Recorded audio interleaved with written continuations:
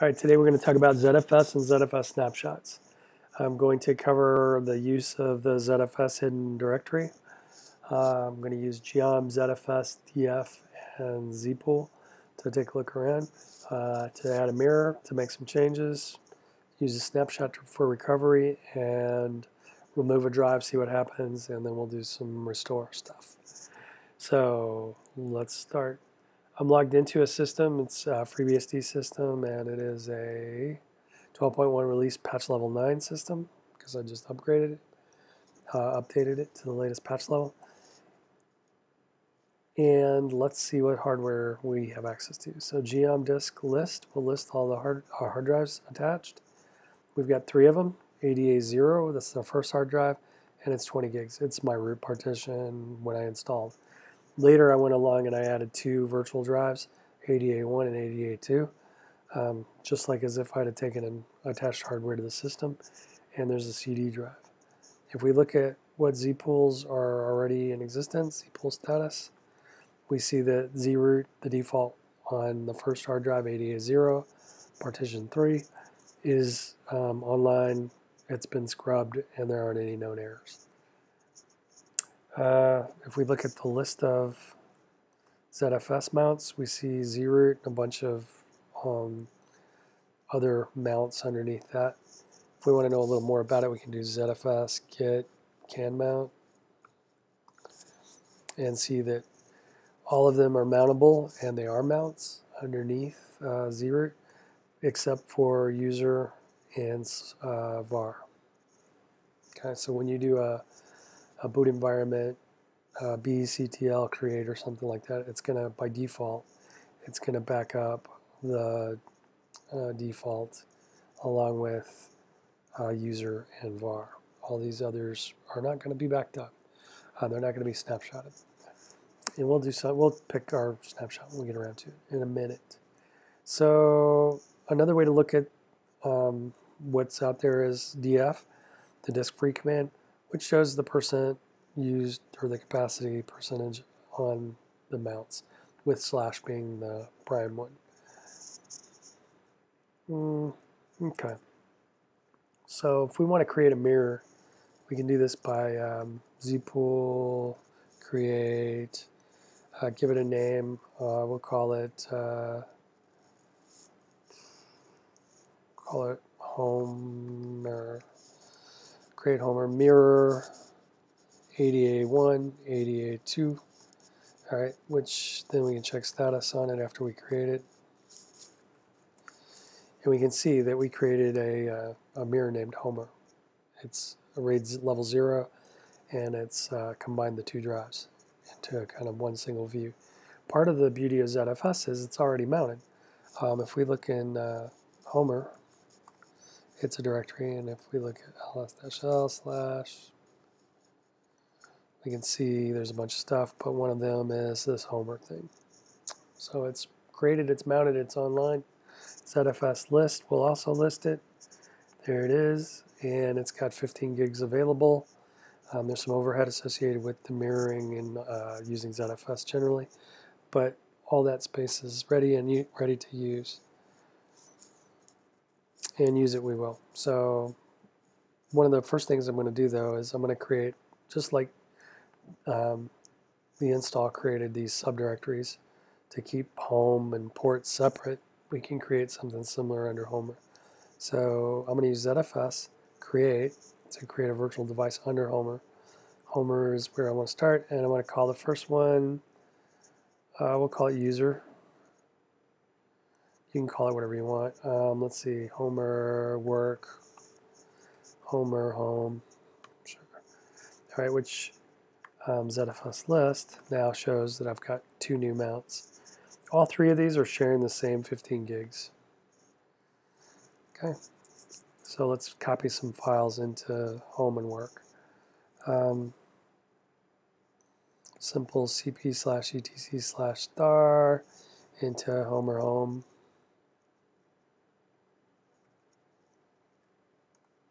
And never mind the errors, um, it worked. It just didn't copy all of the subdirectories. So inside of Homer Home, we have the files that were in etc. And we do something similar for cp slash bin slash star into slash homer slash work.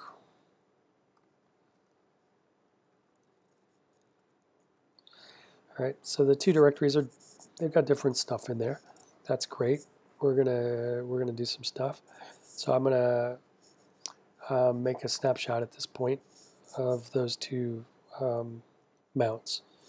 I could create a snapshot of the upper mount, but that wouldn't wouldn't affect the two uh, sub mounts or virtual devices. So I'm going to create those using ZFS snapshot. And then the name of the thing I want to snapshot, which is homer slash work. And then I put an at sign and some identifier at the end. We'll call it snap dash 2020 09 15 dot oh, 1302 CDT for example. And I can do the same thing with the user, uh, with the home rather. We'll call it 13, yeah, sure, why not? They can have the same, this part can be the same because this part's different. Because this is the full name of the snapshot. And we can see this by going ZFS list dash T snapshot. Let me see, there's the two snapshots I created. Now let's go wreak some havoc in our uh, our drive.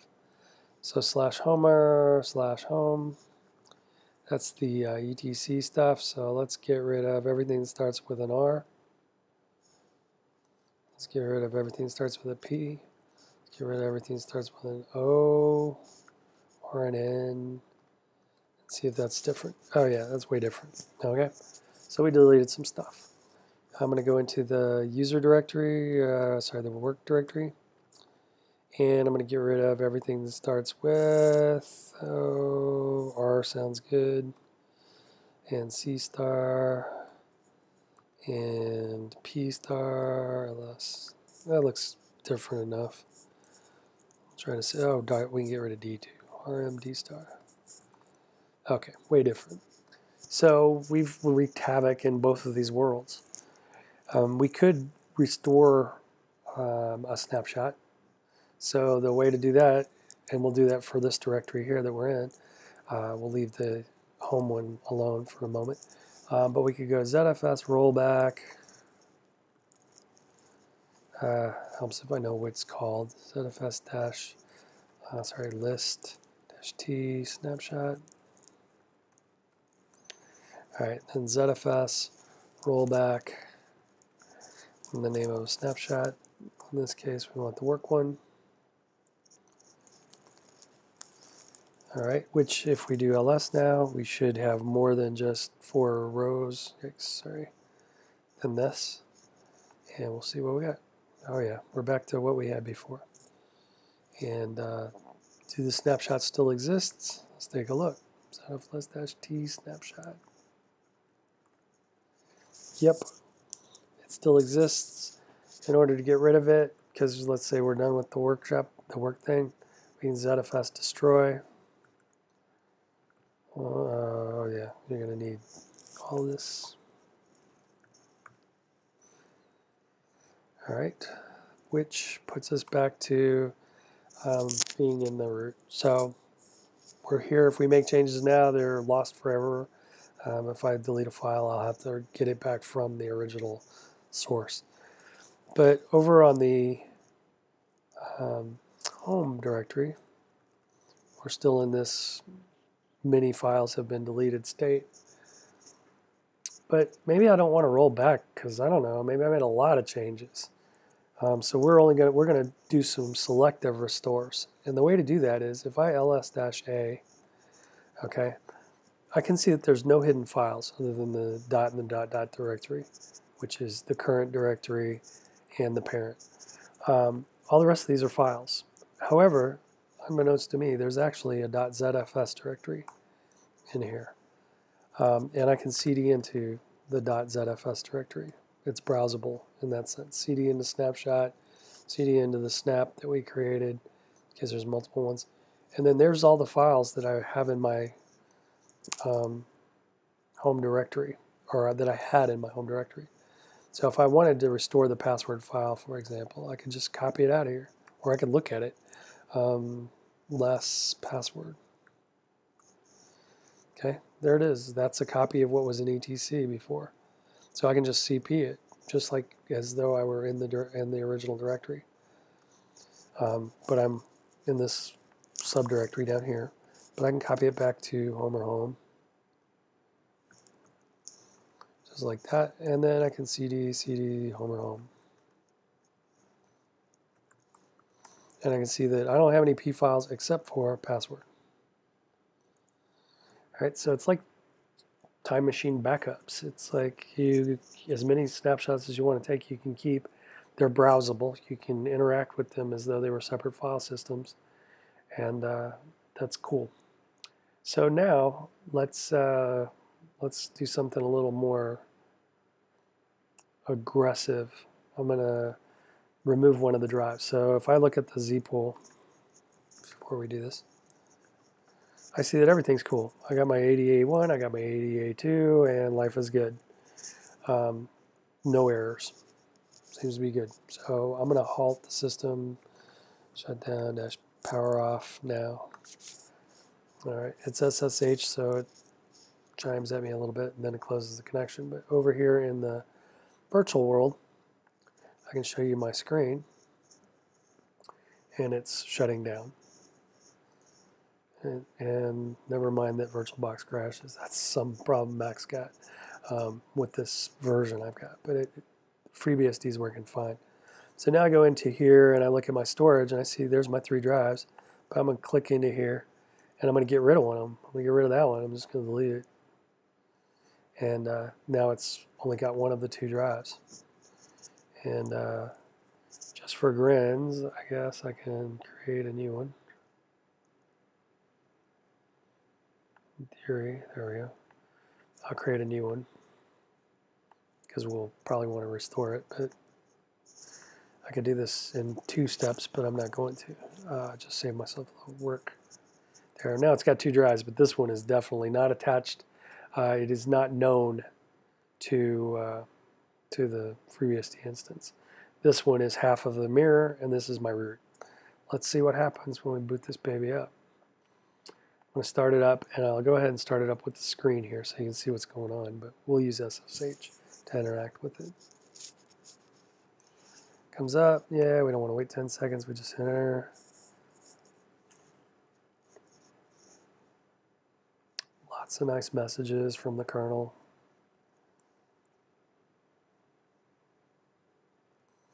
And some just general troubleshooting type of output and it's waiting for us to log in. So no, no complaints. Nothing seems to be horribly broken. Let's log in and take a look around. So geom disk list. All right, it's got a similar set of uh, devices. Actually, it's got exactly the same set. It's just, as we'll see, this one isn't attached or known to the system. Let's take a look at the Z pool. Okay. Now it's it's interesting. The the thing seems to be functioning, so let's make sure that that's the case. Okay, there's Homer home, there's Homer work. There's Homer home slash dot ZFS. Snapshot, snapshot, da da da. So there's that's got all the P files and R files and all that stuff that we got rid of. So it, seems to be working, even though we've destroyed, utterly destroyed one of the drives. So we'll figure out um, how that's looking. We're going to interpret some of this a little bit. So I did zpool status. It's got a pool, Homer. It's online, but it says the status. One or more devices could not be used because the label's missing or invalid. Sufficient replicas exist for the pool to continue functioning in a degraded state. Not terribly degraded. We can still use it but it says replace the drive using zpool replace, and we'll do that. Um, then it tells you how to go read about more information. We didn't do a scan, but if we did, we'd still there wouldn't be any data errors, I don't think. you know, unless my drive's bad, uh, but unlikely. But we can see that Homer is supposed to be a mirror, and we got this ADA1, but we got this thing that's missing. It used to be have ADA2, and I've got an ADA2, but it's not this device. So um, let's let's try the zpool replace thing real quick. Let's go zpool, uh, going to be root. And zpool replace, see what it says. Uh, replace pool, we need the pool name. Don't know what it's doing there. zpool, replace and then the name of the pool, which we called it Homer, and a device, ADA2. Uh, let's see what happens. I guess that's probably Homer mirror. Yeah, let's see what happens. Well, I didn't complain, so we'll stick with that idea, and we'll check status. Z pool status. All right. Okay. It said, hey, um, pool homers online, and we resilvered it four megs in zero days and zero errors and so much time. So it already resilvered it because they're meaning that it already fixed the mirror. So now the, both drives are identical, and I could get I could take drive one this ADA one off, and uh, the mirror would keep running because we didn't have any files on there, right? etc and user bin. I mean, there's takes well, how many megs did it say? Four megs. Yeah. But if we put more files on, we'd want to wait till it was done resilvering before we tried to remove another drive.